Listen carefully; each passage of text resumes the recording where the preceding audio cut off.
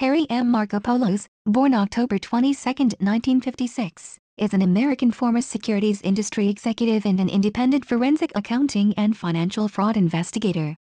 Markopolos discovered evidence over nine years suggesting that Bernard Madoff's wealth management business, Bernard L. Madoff Investment Securities LLC, was actually a massive Ponzi scheme.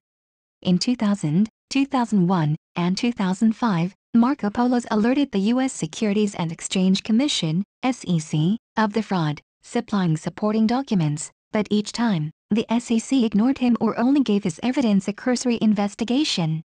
Madoff was finally uncovered as a fraud in December 2008, when his sons contacted the Federal Bureau of Investigation. After admitting to operating the largest private Ponzi scheme in history, Madoff was sentenced in 2009 to 150 years in prison.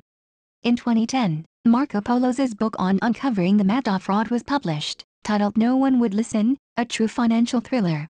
Markopolos has given scathing criticism of the SEC for both failing to discover the Madoff fraud despite repeated tips, and for failing to investigate properly the larger companies it supervised.